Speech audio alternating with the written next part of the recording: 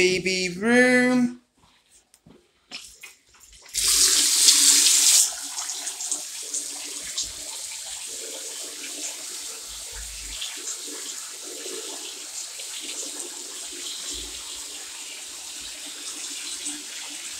Oh my god.